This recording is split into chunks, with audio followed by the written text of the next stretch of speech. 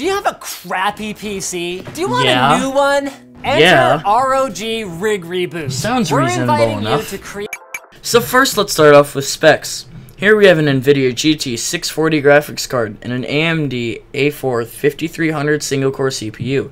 Let me note, it's a GT 640, not GTX, and it's a single-core CPU. Next, we have 8 gigs of Dell certified RAM on a no-name MSI motherboard and a Thermaltake no-name case. Now, I would show you some benchmarks, but my computer is so slow, none of the conventional ones loaded. So here I have some games that I can't run. Now, I do have a couple time-based benchmarks, though. These are things like Chrome and Task Manager and how long they take to load up.